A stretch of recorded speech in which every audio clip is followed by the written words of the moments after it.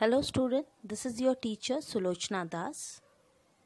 Welcome you back for the second part of our first chapter that is Historiography Development in the West.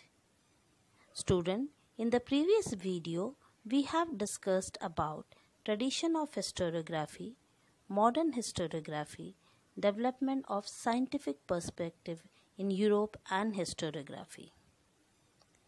In this video, let us have a look at the contribution of few notable scholars who played a very important role in the development of historiography.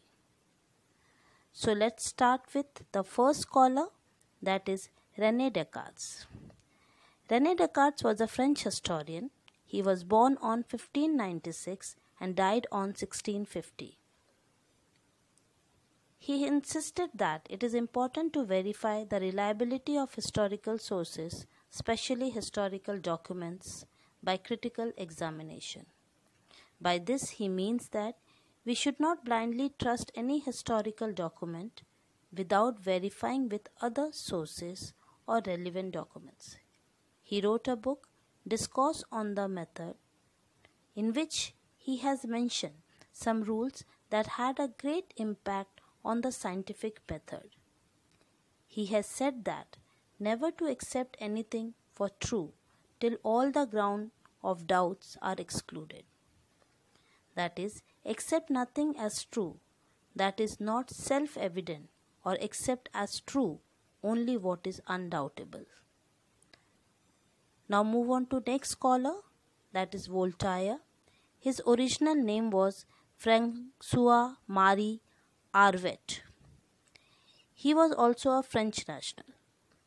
According to Voltaire, it was important to consider the following aspects while writing history that is, objective truth and chronology, prevalent social tradition, agriculture, trade, and economic system. He opined that in history, the focus should not only on the objective truth or chronology of historical event, but also on the prevalent social tradition, trade, economy, agriculture. By this he means that while studying any event, we should also study what was the economic condition of the people during that period and what trade they were engaged, what were the agriculture product were produced during that time, etc.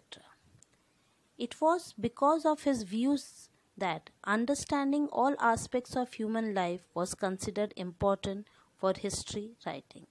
Hence, he is rightly said to be the founder of modern historiography.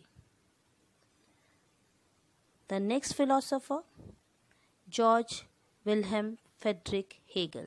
He was born on 1770 and died on 1831. He was a German philosopher. He insisted that the historical reality should be presented in a logical manner. He believed in chronology of event. The order or timeline of historical event are indicative of progress. It means timeline shows how mankind have made progress in the past. He also thought that the presentation of history is bound to change over time as a new evidence would come forth. For example, before the discovery of Indus Valley civilization, historians believe that India's history began in 2nd millennium BCE when Aryan migrated into the Indian subcontinent. But with the discovery of Harappa in 1920, the timeline for India's history was pushed back over 1000 years, that is, 3rd millennium BC or even earlier. With Hegel philosophy, many scholars were convinced that historical methods were not of lesser quality, though they differ from scientific method. By this, he means no, no doubt that scientific methods are important, but historical methods were also not less valuable.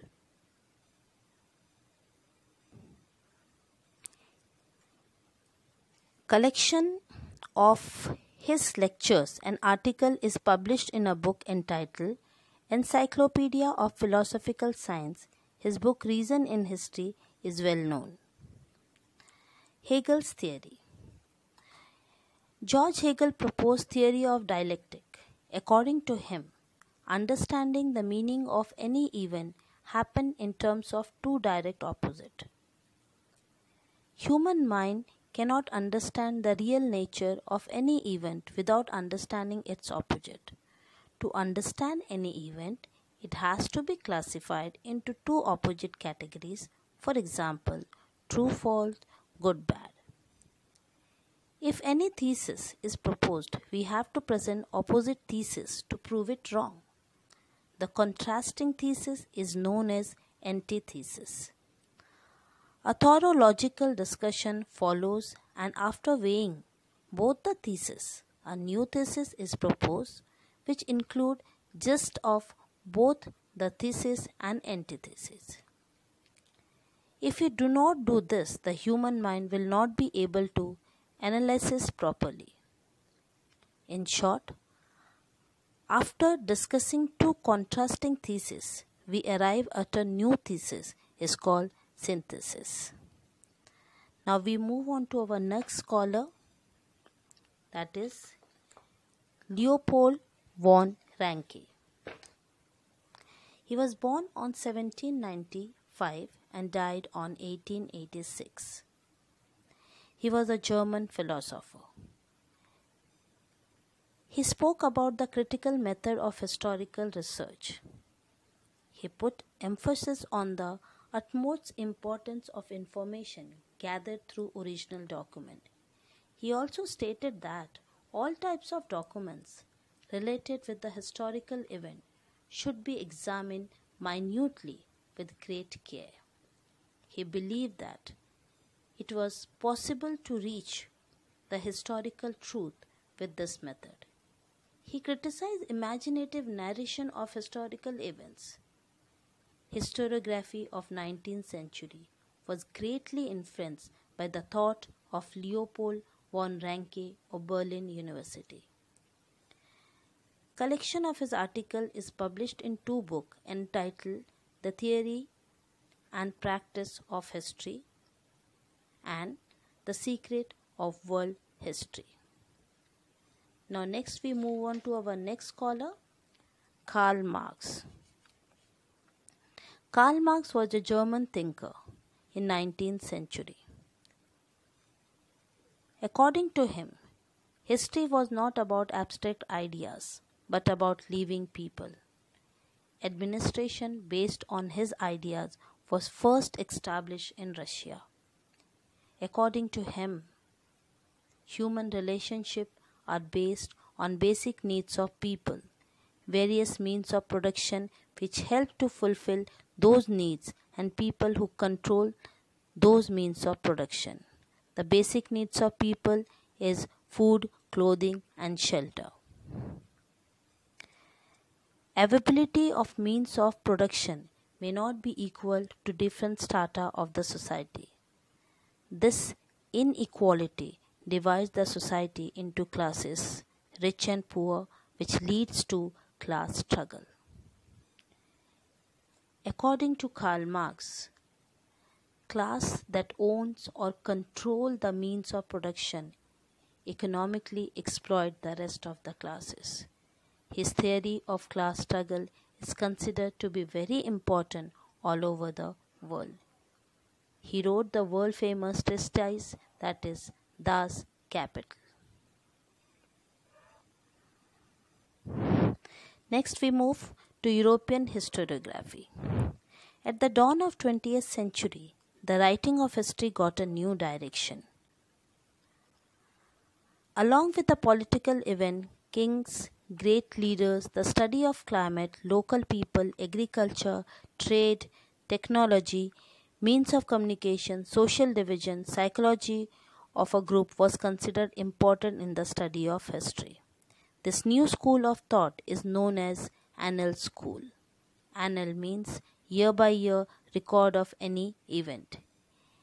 Any event should be studied in the light of not only the political system in those times but also of a prevalent social and economic system. Annal School was started by French historian. The writing of Simone de Beauvoir helped in establishing the fundamental of feminism. She was a French national.